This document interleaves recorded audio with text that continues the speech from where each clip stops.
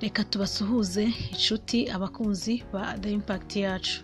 Tumaze kumenyerana ko tubagezaho ibintu byinshi bitandukanye byiza bigamije gutanga impinduka mu buzima bwacu bwa buri munsi ndetse no mu buzima bw'umwuka. Murabizi rero tuba tubafitiye ibishya buri munsi. Wakwibaza uyu munsi rero tugufitiye iki?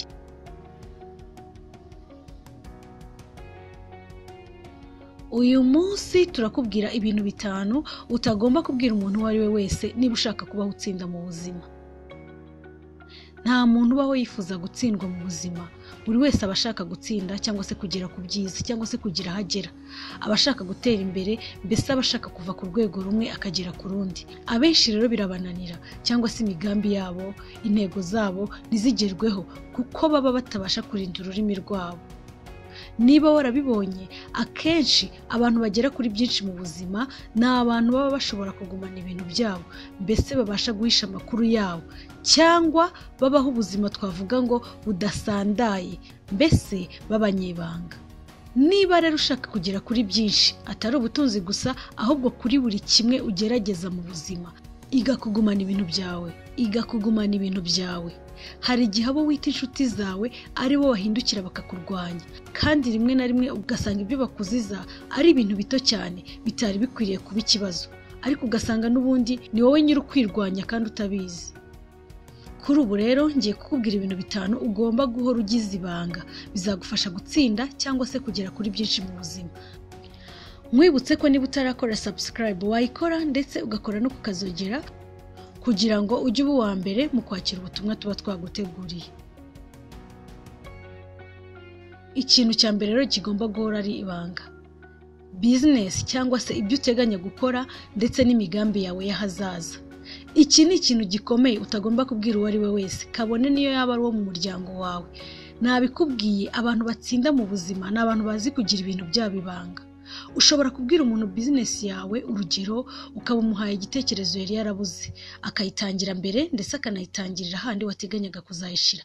Birumvikana ko bisigara bikubereye imbogamizi. Reka tuvuge ko atanayitangiye. Ariko wenda ukaba wari uzi ko ari inshuti yawe. Ashobora guca inyuma agatangira guhwihwisa mu bandi ayibangisha cyangwa se ashobora no kuguca intege. Byose birashoboka. Niyo mpamvu ibyiza ari ukugira ibanga. Icecekere. Akenshi imishinga ya bamwe ntirangira neza bitewe n'amashyari ya bamwe mu bo bizeye bakabamenera amabanga. Dore ikindi cya kabiri ugomba guhora ugize ibanga. Hari abantu bamwe usanga ubuzima bwabo bwibera kuri za social media reka aba ari rwo rwego rworoshye dufata. Waguze imodoka ukayishyira ahashoboka hose mu inshuti n'abatakuzi babibone ngaho facebook ngaho instagram ngaho whatsapp waba wabonye diporome ugashaka ko bose barara babimenye waba wabyaye nuko wagize isabukuru byose byose kuri social media. Mu by'ukuri sinavuga ngo ntukabikore ariko nanone reka mvuge ngo ntugakabye. Mbese ni ngombwa ko buri rwego rwawe ugezeho abantu barumenya? Niba uherereye ahantu ufata ifunguro ni ngombwa ko abantu bamenya ibyo uherereyemo mbese nta na rimwe wakwihangana ukiga kubaho ubuzima bw'ibanga.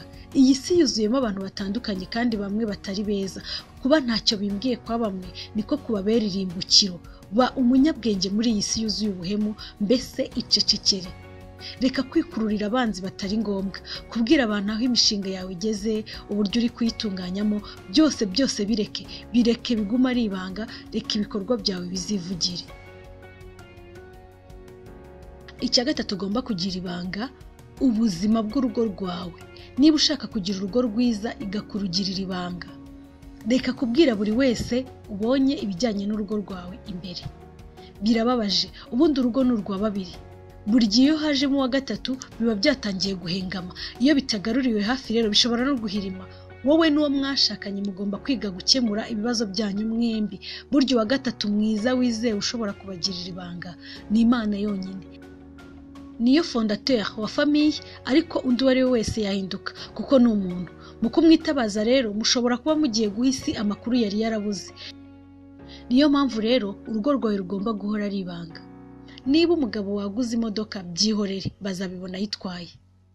Reka kubwira abantu intege nke z'umugore wawe. Niba ukeneye kuvuga uvuga iby'imbaraga. Bihorere. Bihorere ujye ubabwira ibyo bakubajije kandi nabwo usubize ibiri ngombwa. Uzi neza ko bitagusenyera.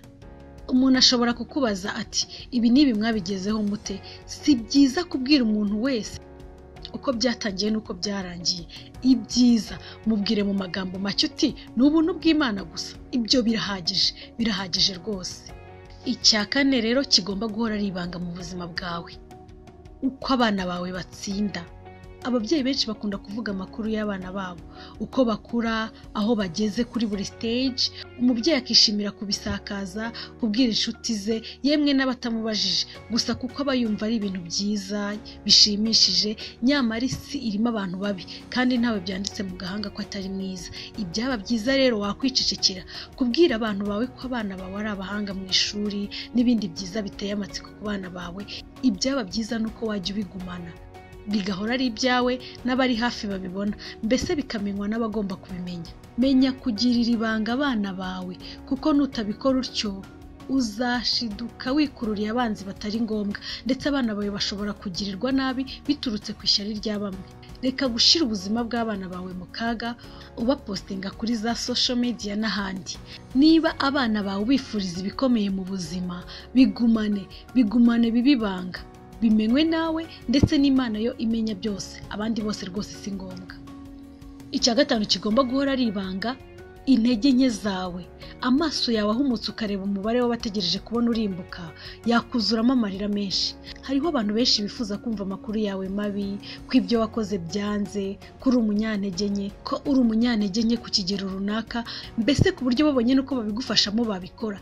Niyo mpamvu ukwiriye kwicecekera kuko bashobora gukoresha intege nke zawe bakakurwanya. Bibaye byiza nta muntu n'umwe wakwizera. Nubwo yaba umuvandimwe wawe nubwo yaba uwo mwashakanye burya bibaye ngombwa rwose intege nke zawe zaguma ari izawe.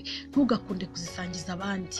Muri make kugira ngo ubeho ubuzima bwishimye kandi bw'insinzi ni uko umenya kwigirira ibanga. Yaba wowe ubwawe yaba imishinga yawe yaba uwo mwashakanye niba umufite ukamugirira ibanga. Yaba abana bawe mbese muri make vuga bike ubike byinshi. Abantu bageze kure mu buzima ni abantu bazi kuvuga make. Ni umunyabwenge ngenda ikirere umumararungu niba ubutumwa bugufashije wibuke kubusangiza abandi. Komenti na like. Mugire umugisha.